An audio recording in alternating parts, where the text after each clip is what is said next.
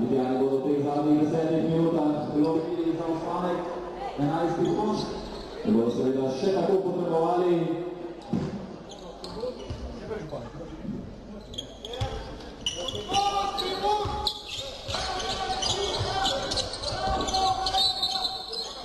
Začetek zadnje četrtine, takoj se napaka Nučiča.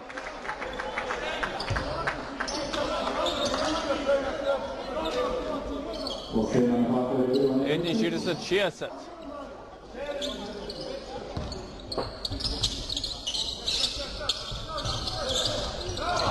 Dobro, obrambi Litjani.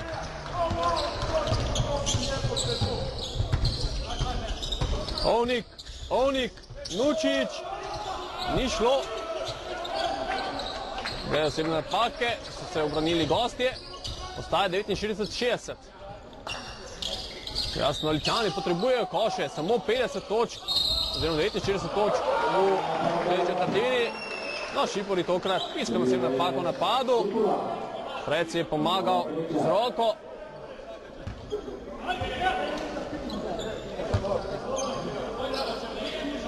Šipora, tretja osebna napaka. Edini, ki ima pri gostih štiri osebne napake, je Zdolček, pri Litjanih pa Gerem Velikonja Grbac ter Čukovič.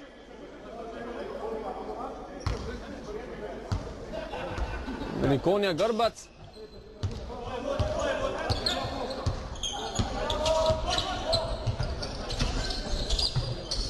Ovnik, Ovnik, zvan do Betiča, Betič za tri, zadeva trojko Betič. 52, 60. 9 minut in 5 sekund še do konca srečanja.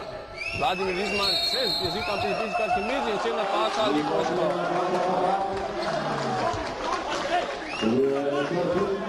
Zdaj se jezijo tudi gostujoči igralci na sodnika.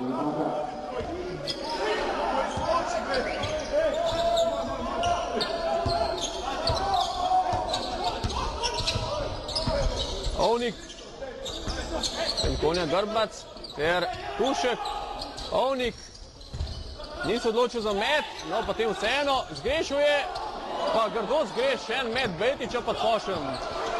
No, na srečo so Litjani le prišli do žoge, Betič, met Ovnika, zgrešen, Lučič pa v skoku. Jasno, ker je Betič zgrešil tudi tablo, je bilo potrebno vreči na koš, namreč čas za napad se je iztekal, Betič znov na trojki, in da je na trojko Betič, druga zaporedna trojka Betiča, potrebno bo tudi pobrisanje parketa 55-60, gostujoči trener ostaja brez minute odmora.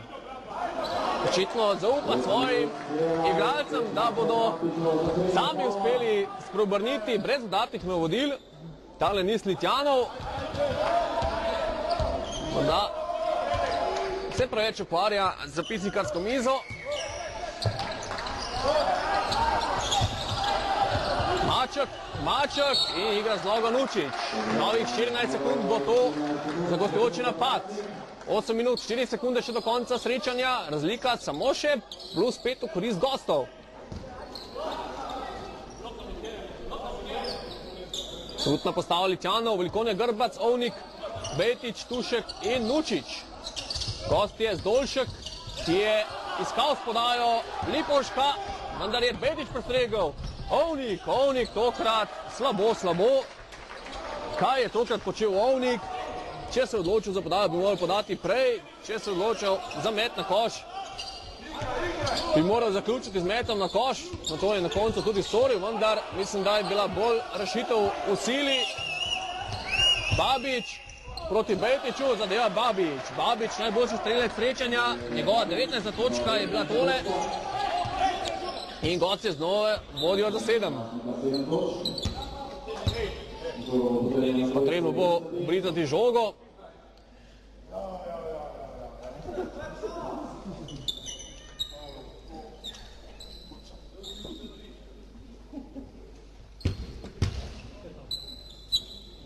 17 sekund še za letinski napad. Ovnik ga je postavil. Velikonja Grbac, pa Bejtič na trojki. Zadeva trojko Bejtič. Ali je to strelski večer Adnana Bejtiča? Njegova tretja zaporedna trojka iz 49 na 58 je pripeljal letijo Bejtič. Brez osebnih napak. Velikonja Grbac in Lipovšek sta tam padla po tleh. Lipovšek je zgrešil. 58-62, štiri še ostali čani in so napadu za znižanje tega vodstva. Kone Grbat, pa Tušek, Mučič, Tušek in najšportna še napaka Lipovšku. Lipovšek je očitno malce izgubil živce, že prej se mi je zdelo, tam, ko sta se zapletla z velikonjo Grcem, potem nekoliko posiljen met in še sedaj osebna napaka, ko je tiska obramba izigrala, namesto njega v igro številka 13 Tunovič, Tušek pa imel priložnost, da zniža razliko na minus 2 in da Ličani potem z napadom celo izenačijo. No, Tušek je v prvo zgrešil, iz te računice ne bo nič. Prvi zgrešen prosti med za Tuška na našem srečanju. Mislim, da jih je prej zadev že šest zapored, no tokrat pa dvakrat neuspešen, 58-62, pa menjava Čukovič v igro na mesto Tuška. Čukovič, ki ima 4-7 napake, dar jasno, potrebno je poslati v igro vsa orožja, ki jih trener Džemo Ibiši ima.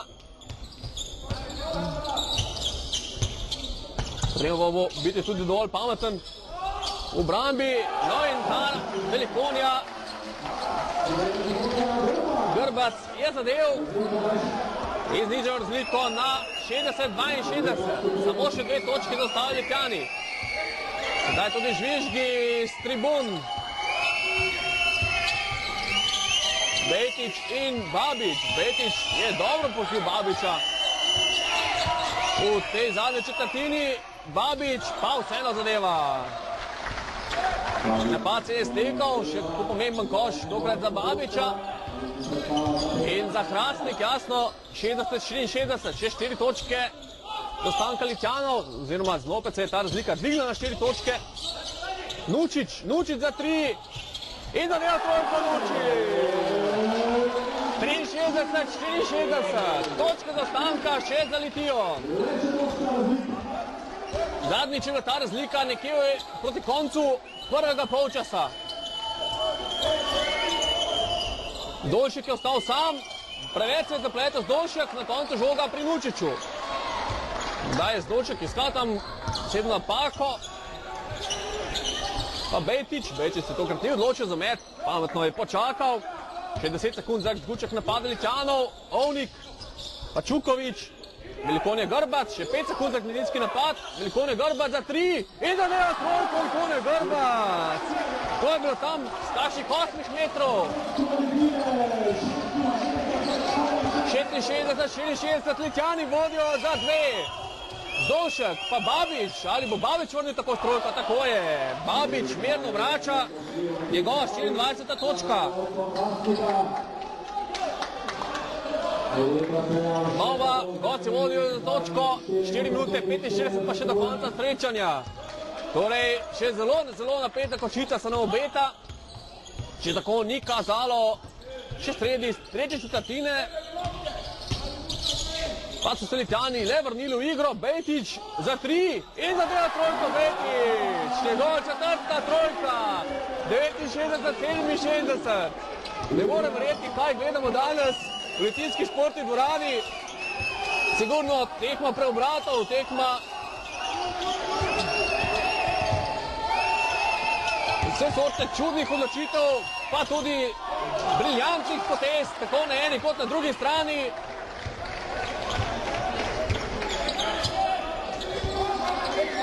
Pavnik, Bejtič, Velikonja Grbac, 3 minute 50 še do konca. Litjani vodijo za dve in so priložnosti, da to prejoče povičajo. Nučič, zadeva! 67, lepa tiska akcija, Litjani. So sedaj tisti, ki so na letu, gostje pa iščejo pot do koša. Babič je edini, ki nekako uspe dobiti litijsko obrambo, tudi tokrat jo je, Ovnik je moral narediti osebno napako, dobil pa je pri tem udarec v obraz. Babič se sicer upravičuje, očitno osebna napaka z glavo Ovnika. Ne, to seveda ni res, Ovnik je očitno udaril Babiča, pri tem, ko mu je ukradel žogo. No, tudi z Ovnikom je vse v redu. Vedno nekoliko več zaskrbljenosti, ko se igrali takole prima za obraz. Kakšna poškodba očesa je lahko zelo, zelo neprijetna. Tudi nevarna, jasno. 3 minute in pol še do konca, 71-67, Zdolšek, pa Maček, Zdolšek, Zdolšek in koraki Zdolška. Koraki Zdolška, 3 minute 24 še do konca, Litjani v napadu. Velikone Grbac, lepo do Čukovica in Čukovic zadeva. Čukovic zadeva, 73-67, tam mislim, da se Maček in Babič je pač odločila za agresivno pokrivanje, ostali cegoveci o tem niso bili obveščeni in kar naenkrat so Britaniji imeli napad 4 na 3 in nova koraki Dunaviča. Dunavič je mislil podati, pa se potem premislil in napravil korake, takoj minuta odmora na temo gotočega trenera Vladimira Izmana.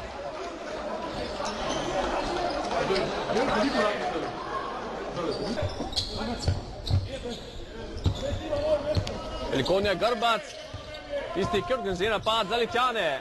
Trenutna postava Litjanov, Betič, Nučič, Čukovič, Ovnik. Čukovič, hitrejši od Lipoška, vendar pričakal ga je Šipora, ki ga je atraktivno blokiral. Rizman stalno prigovarja sodniku in sodnik ga je tokrat upozoril, da bo naslednjič piskana tehnična osebna napaka. Velikonja Grbac. Lepo je našel Čukoviča, Čukovič je zadeval. Mislim, da je to njegova enajsta točka.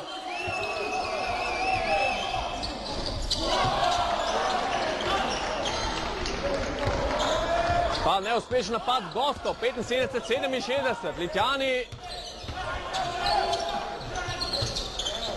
Počasi višajo to prednost, gostje so posem, posem izgubili kompas v tej zadnji četrtini. Potrebno bi gledati na koš, velikone grba za dve, zgešuje, pa dobro v skoku Lučič, ter na koncu do žoge Čukovič. Bučni tudi aplauzi iz tribun. Tudi litijski župan gospod Franci Rukavec navdušeno ploska ob teh akcijah Litjanov. Ovnik, Ovnik, zativa podaja, na koncu le Litjan do žoge, Betič z veliko daljosti greši, ali bo Nučić prišel do žoge, ni mu uspelo.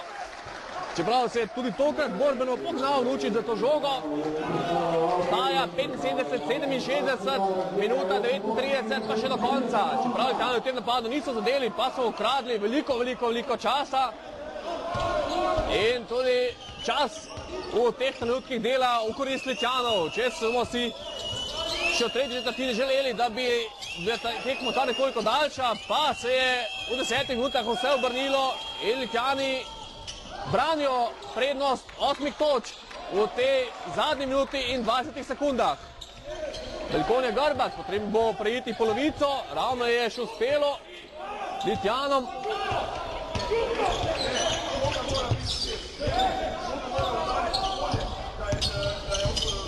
Ovnik, Ovnik za tri. Jasno je pa se je stekel.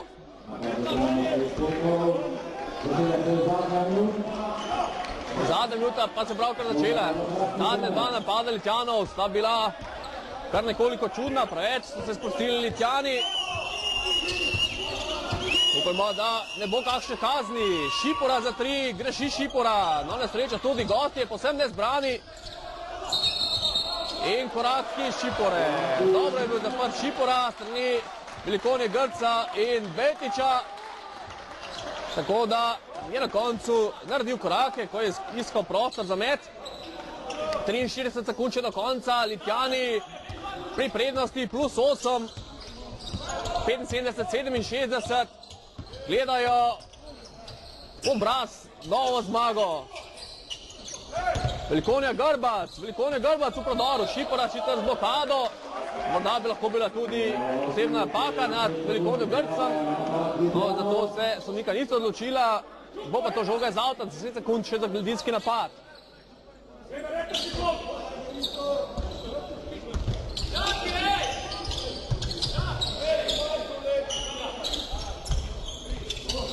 Ovnik in Bajetič, še 9 sekund za tiski napad. Velikone Grba zgrijo prodor, osebna napaka nad njim, dva prosta meta bosta to odzan. In Tarac ima priložnost, da še poviša litijsko prednost, ter poveča svojo bero točk. Mislim, da je pri devetih točkah Velikonja Grbac. Trenutno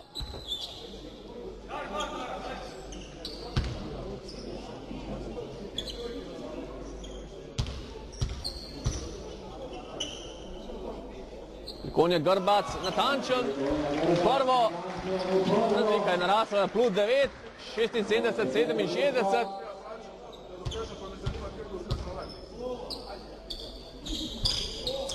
Konje Grbac tudi v drugo natančen, 11 njegovih točk, Ljubljani pa vodijo za 10.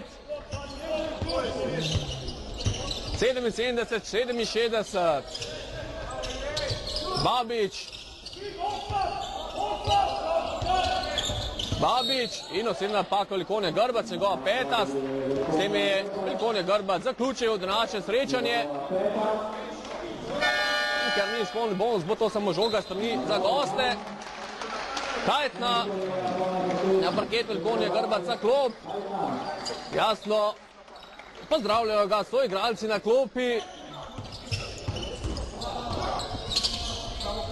Pa Lipovšek za tri neuspešno in srečanje je končano. Litjani so ga dobili 77, 67, torej tretja zmaga za Litjano v letošnji sezoni.